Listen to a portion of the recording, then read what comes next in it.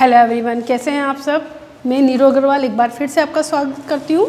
आज हम क्लास आठ का चैप्टर एट, सर्वनाम पढ़ेंगे। सर्वनाम जैसा कि आप जानते हो, इंग्लिश में हम इसे प्रोनाउन कहते हैं। सर्वनाम की डेफिनेशन होती है, जिन शब्दों का प्रयोग संज्ञा के स्थान पर किया जाता है। कहने का मतलब संज्ञा आप जानते हो क्या होती है? किसी वस्तु, व्यक्ति, स्थान या पदार्थ के नाम को संज्ञा कहते हैं। तो संज्ञा शब्दों के स्थान पर सर्वनाम का प्रयोग। वही क्या कहलाता है? सर्वनाम। आप बुक खोलिए, आपको अच्छे से समझ में आएगा।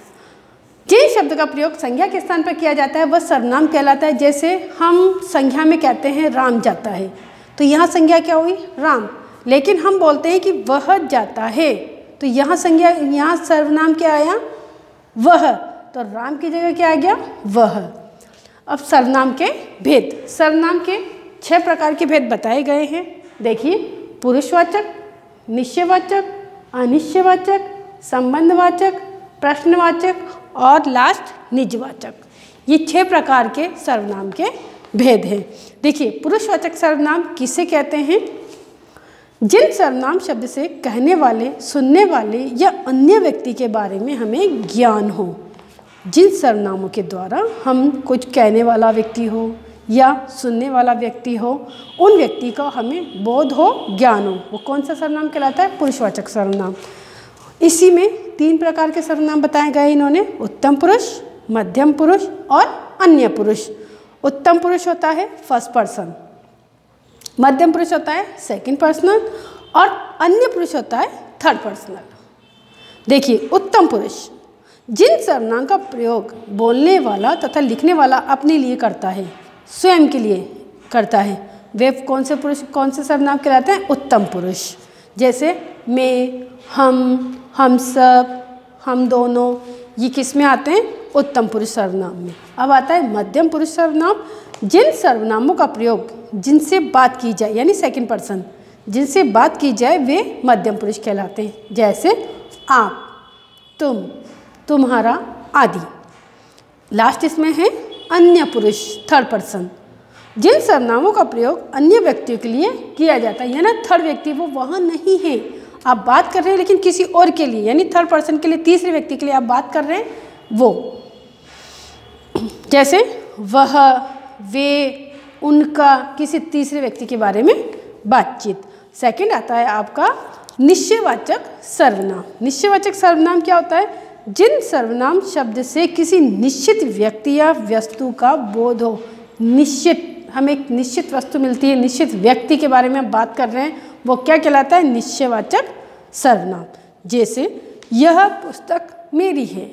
निश्चित है इस बात पे, हम पक्का हैं इस पर श्योर हैं कि हाँ यह पुस्तक मेरी है। तो वहाँ कौन सा सर्वनाम होगा? निश्चयवाचक। एक और उदाहरण देखिए। वह शाम का ही घर है। अब एक घर की बात हो रही है, लेकिन वो किसका घर है? श्याम का। वो तुम्हारा या मेरा नहीं है। वहाँ पे वो निश्चित है कि ये किसका घर है? राम, श्याम का। अब देखिए, इन वाक्यों में यह वह निश्चयवाचक सर्वनाम है। समीप व्यक्ति स्थिति या वस्तु के लिए यह, ये आदि प्रयुक्त होते हैं। दूर स्थित व्यक्ति या वस्तु के लिए वह, वे आदि प्रयुक्त होते हैं। थर्ड नंबर का सर्वनाम आपके आता है अनिश्चयवाचक जिसका कोई निश्चित नहीं है। जैसे जिन सर्वनाम शब्द से किसी व्यक्ति या वस्तु का निश्चित ज्ञान न हो। हमें कुछ पता नहीं कि ये किसका है, क्या है, कौन है, कैसा है। वो, देखिए, उदाहरण से समझिए। कोई गाना गा रहा है, अब कोई गाना गा रहा है, लेकिन हमें नहीं पता है।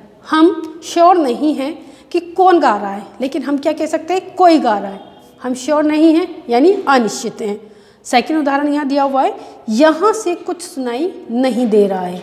यहाँ से कुछ। अब यहाँ से कहाँ से? घर से, छत से, कमरे से, लेकिन हमें पता नहीं है लेकिन यहाँ से कुछ सुनाई नहीं दे रहा है। हम अनिश्चित है इस वाक्य में। फोर्थ है, संबंधवाचक सर्वनाम। अब रिलेटिव जो सर्वनाम एक शब्द या का दूसरे के साथ संबंध बताते हैं, संबंधवाचक सर्वनाम कहलाते हैं? कैसे? जो सत्य बोलता है, वह डरता नहीं है। तो यहाँ उसी से संबंध बताया गया उससे, सत्य बोलने वाले से, कि जो सत्य बोलता है, वह डरता नहीं है। दूसरे से संबंध नहीं बताया। उसी व्यक्ति के बारे में दो बात कही गई है कि वह सत्य बोलता है और वह डरता नहीं है। जैसे, जिसको पैसा चाहिए, वह परिश्रम करे। ये बात सही है कि मैंने परिश्रम करने वाले को ही मेहनत का फल मिलता है। तो जो परिश्रम करेगा, मेहनत करेगा, उसे ही पैसा मिलेगा। फाइव नंबर पे आता है प्रश्नवाचक सर्वनाम, जो सर्वनाम प्रश्न पूछने के लिए प्रयोग किए जाते हैं। अब यहाँ आता है प्रश्न पूछने के लिए। तो जो सर्वनाम प्रश्न पूछने के लिए प्रयोग किए जाते हैं, वो कौन से सर्वनाम प्रश्नवाचक सर्वनाम कहलाते हैं? जैसे, कौन आया? अब कौन आया? प्रश्न कर रहे कौन आया है? हम प्रश्न पूछते हैं, फिर तुम्हें क्या चाहिए? आप कौन हो? तो ये क्या हो गया हमारे प्रश्नवाचक। क्वेश्चन मार्क जब जिनमें लगता है इंट्रोगेटिव लास्ट आता है आपका निजवाचक सर्वनाम। तो निजवाचक सर्वनाम आता है जो सर्वनाम वाक्य में कर्ता के साथ अपनेपन का भाव प्रकट करे। जो सर्वनाम निज मतलब अपना। जो सर्वनाम वाक्य में कर्ता के साथ, यानी जो करने वाला है, उसके साथ एक अपना संबंध प्रकट करे या अपने बन का भाव प्रकट करे। उसे हम क्या कहते हैं? निजवाचक सर्वनाम। जैसे हमें अपना काम स्वयं करना चाहिए। खुद के लिए आ रहा है ये बात, कर्ता के लिए, मैं करने वाला और मेरे लिए ये बात आ रही है। हमें अपना काम स्वयं करना चाहिए, यानी मैं मेरा काम स्वयं करूँ। सेकंड उदाहरण देखिए यहाँ, मैं अपने आप घर चला जाऊँगा। जाना मुझे मेरे घर पर है, लेकिन मैं कैसे चला जाऊँगा? अपने आप। तो यहाँ पर ये छः संबंध छः सर्वनाम बताए गए हैं आपको और इन छः को ही आपको उदाहरण के द्वारा समझाया गया है। सर्वनाम, संज्ञा के बाद सर्वनाम आता है और संज्ञा और सर्वनाम की जो विशेषता बताते हैं, वो क्या कहलाते हैं? विशेषण। वो हम आगे के पाठ में पढ़ेंगे। अभी इसके बाद देखिए, यहाँ पर प्रश्नोत्तर दिए हुए हैं। ये प्रश्नोत्तर और बुक का जो वर्क दिया हुआ है, वो आपको पीडीएफ के द्वारा समझा दिया जाता है। प्लीज़ आप ये वर्क कॉपी में ज़रूर करें, क्योंकि आपसे कॉपी चेकिंग करने के लिए मंगवाई जाएगी इसलिए बच्चों, जिसने भी अभी तक कार्य नहीं किया है, कोई सा भी सब्जेक्ट हो तो वो अपना कार्य कर ले, ताकि उसकी कॉपियाँ सबमिट हो सके और वो चेक हो सके धन्यवाद